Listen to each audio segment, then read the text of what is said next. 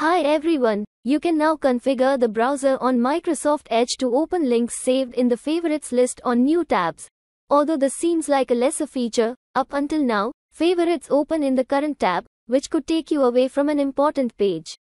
Starting with version 110, instead of opening a new tab and then opening your favorite link, you can now enable the option to create a new tab to load a link from your favorites list. This video will teach you the steps to open links saved in the favorites list in new tabs on Windows. Use these steps.